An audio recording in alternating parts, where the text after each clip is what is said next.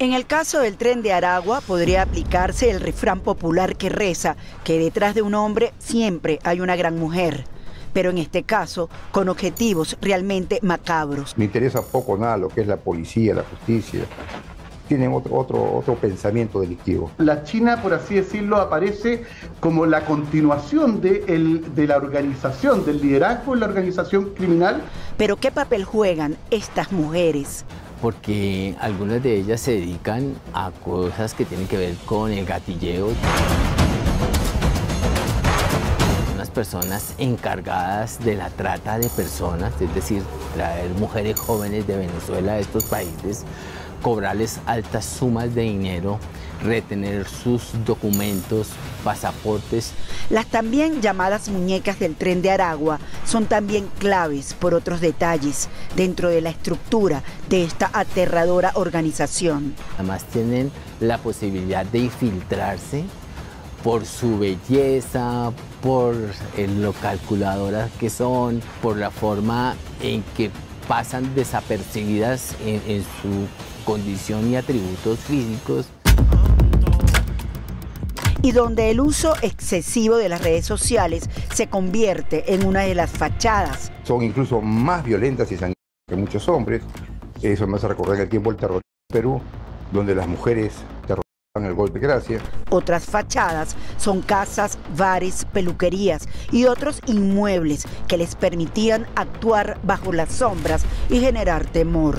Ellos tienen un modus operandi bastante preciso, ¿no? Tienen sitios donde ocultan a mujeres casas generalmente que alquilan fuera del centro de la ciudad.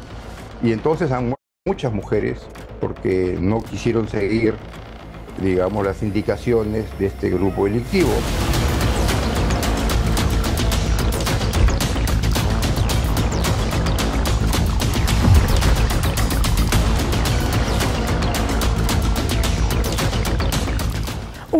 Revelador de cómo ha crecido la participación femenina en el mundo delictivo lo tiene Colombia. En los últimos años esta participación ha aumentado en un 400%. La condición, la alta vulnerabilidad de estas mujeres que es aprovechada por las organizaciones delictivas tanto locales como extranjeras. Leonardo Rodríguez, experto en psicología criminal, afirma que estas mujeres cumplen con roles específicos dentro de la estructura del tren de Aragua, que les permite ascender o no, dependiendo de sus capacidades, condiciones físicas y astucia.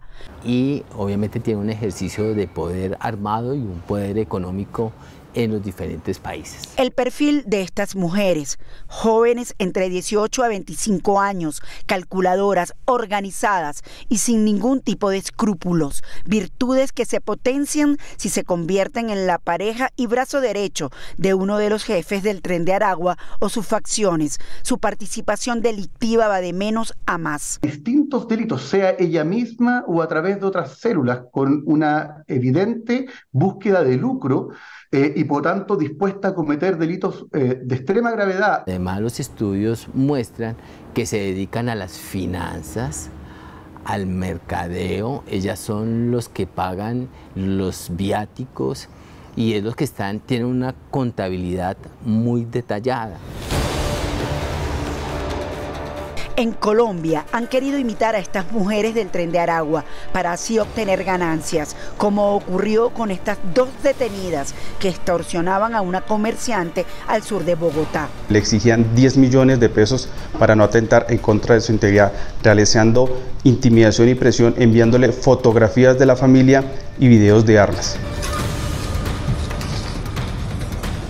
La líder criminal del tren de Aragua, que mostraba su vida de lujo en Chile.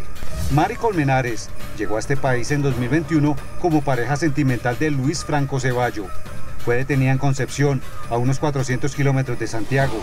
Delitos, trata de personas, tráfico de drogas y tenencia ilegal de armas de fuego.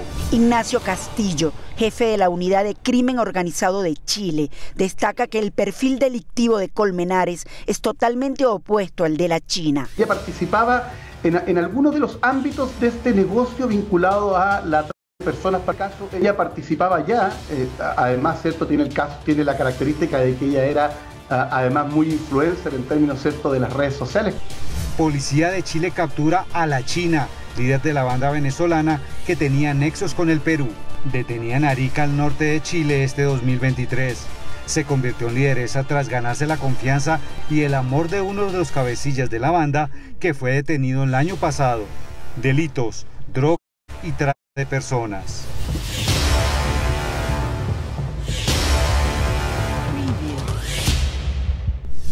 Detienen a la guaireña, dama de la extorsión y sicaria Perú. Eglinmar Reyes lideraba la facción Los Gallegos. Fue detenida en Lima. Delitos, trata personas. En fuga, Wanda del Valle, pareja del fallecido Christopher Fuentes, alias Maldito Cris, abatido por los cuerpos policiales en 2022. Lideresa de la facción Los Llaneros. Tenemos que revisar las sanciones de nuestro Código Procesal Penal, porque por ejemplo en el caso de los menores de edad, que son muy usados por, por, estas organizaciones como el Tren del Agua, las penas son muy bajas, ¿no? y le dan ocho años de pena privativa y eso tiene que ser modificado, ¿no? Así responde César Ortiz, experto en seguridad, quien aclara que la pena máxima en su país, por ejemplo, para un homicidio agravado es de 35 años, siendo su mayor preocupación el aumento del número de casos delictivos y la disminución de las denuncias. Pero una cosa es lo que está en el papel y otra cosa es la que la justicia aplica, ¿no? Vuelvo a repetir, la piedra angular, por lo menos en mi país, en Perú, es la corrupción. Y eso es lo que tenemos que combatir, ¿no? Y otro lado es que el gobierno tampoco es que haga las cosas muy claras en cuanto a enfrentar la delincuencia, ¿no?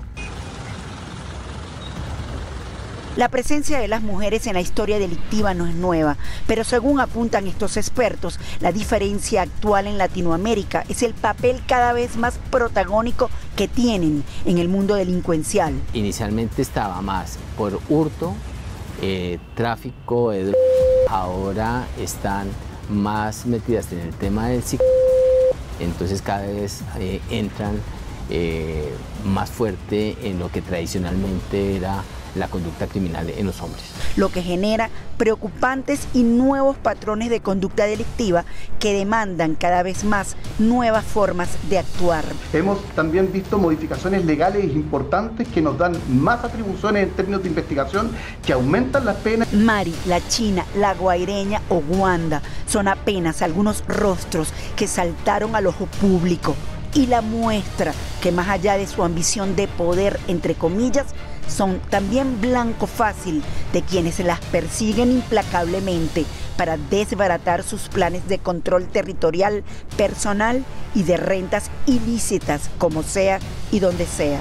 Son unas buenas compañeras para poder ellos también actuar y tener una especie de camuflaje, porque claro, una mujer de todas maneras baja la alerta de, la prevención, ¿no? eso es lo que sucede.